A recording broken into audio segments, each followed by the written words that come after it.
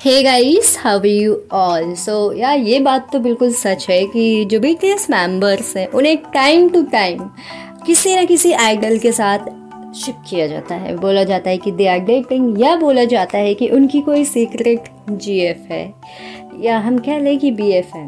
Well yes जब से जो ब्लैक पिंक की जीसू है उन्होंने अपने बीएफ को रिवील्ड किया है ना तब से तो के पॉप आइडल्स की लाइफ में जो एक ये कॉन्ट्रैक्ट वाला आ, सीन था ना कि वो बी एफ़ या जी एफ़ नहीं बना सकते हैं ये आ, मतलब इस पे से लोगों का तो विश्वास उठ गया है। वेल या I am gonna tell you कि जंकुक ने क्या खुद से आके बताए हैं कि उनकी जीएफ है। क्या उन्होंने भी ब्लैक पिंक की जो जीसू है उनके जैसे अपनी जो उनकी जीएफ है या हम कह लें जो उनका रिलेशनशिप है, उन्हें जंकुक ने रिवील्ड कर दिया है? Well well, yes yes. मैं आपको बता दूँ कि अभी से कुछ टाइम पहले आपने देखा होगा कि ऑनलाइन बहुत ही ज़्यादा ये न्यूज़ दिखाई दे रहा है कि जंकुक इज़ इन रिलेशनशिप वो रिलेशनशिप में है एंड उनकी एक गर्लफ्रेंड है.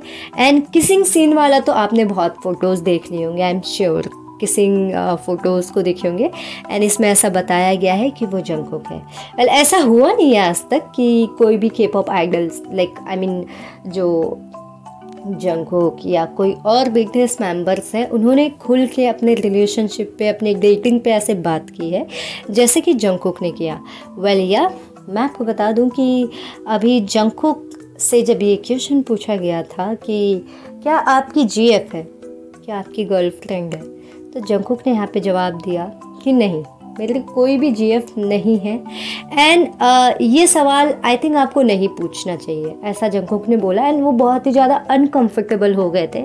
आपको पता ही है कि जंकुक इन दिनों बहुत ही ज़्यादा बिज़ी है अपने प्रोजेक्ट को लेके एंड वहीं पे उनसे काफ़ी क्वेश्चंस एंड आंसर्स किए जा रहे हैं।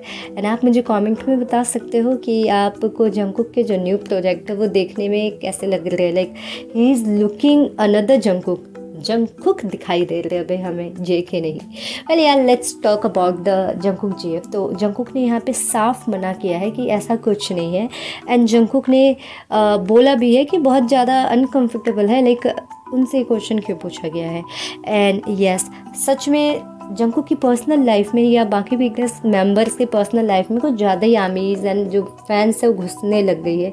इवन जंकुक के बारे में तो हम अगर बात करें तो बहुत ज़्यादा। उनके घर में खाना भिजवा देती है लाइक बहुत सी ऐसी अनयूजल चीज़ें जिसके चलते जंकुक ने लाइव में आके भी बोला कि वो भी इंसान है। वेल well, गाइज़ आप मुझे कॉमेंट में बताओ।